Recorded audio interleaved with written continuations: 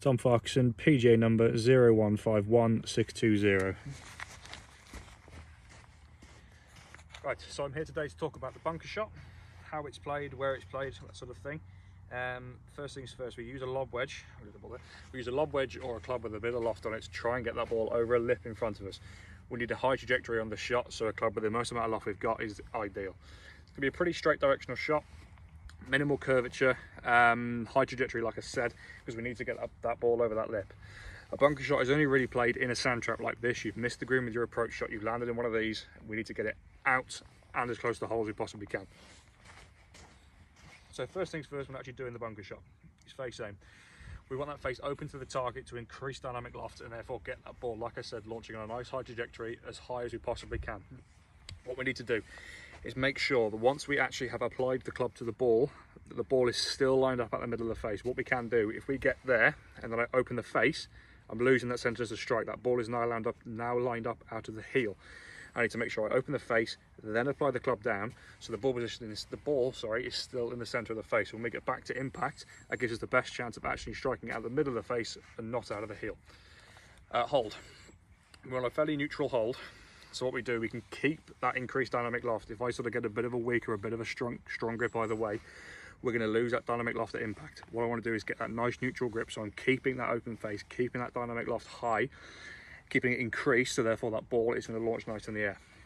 If I want to grip down a little bit further down the club, that's going to lower that club head speed, bit of a shorter swing, and that's make sure that bunker shot is then going to go a little bit shorter. If I want to increase the length of that bunker shot, I go a bit higher up the club, increase the club head speed, get another lever involved, increase the club head speed, increase the length of the shot, that bunker shot is then going to go further. Ball position.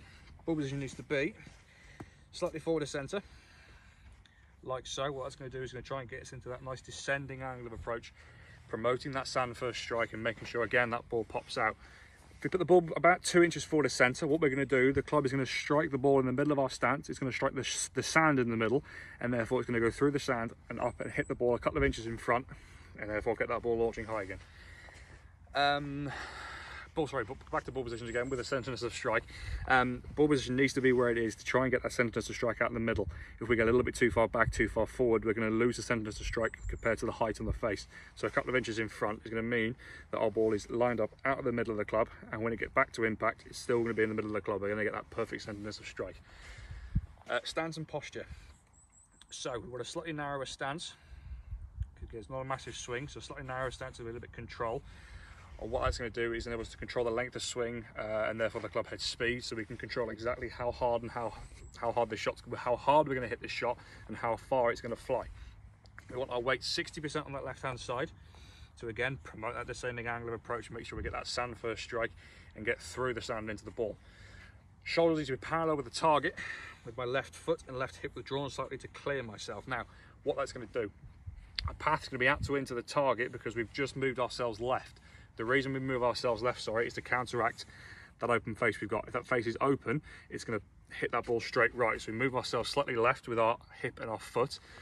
With our shoulders square, we're still going to be an inter square to in swing path. With that face being open and ourselves moving left, that path may well now be out to into the target, but it's still going to be into square to in compared to our path. Out to into, out to into the target, into square to into the path. The actual swing length itself is going to be a two lever swing. What I mean by that is we're going to get up to sort of about hip height. Our second lever in our wrist is going to kick in and therefore we're going to get that perfect swing length and back down to the ball. If you think of a clock face, like I said before about changing the distance, if we get to about sort of eight o'clock here with my arm, that second lever comes into play and that's where we're going to go, let's say eight to 10 yards. If I want to increase that, second lever kicks in again, my arm goes up to about nine o'clock, something like that, that ball's going to travel a little bit further. So for a shot like this, we want to make sure we're hitting this about eight to 10 yards or so. So we're going to get that second lever involved, swing back to about here with a narrow stance, ball position, body alignment, everything involved. That should pop out nice and high and fairly straight.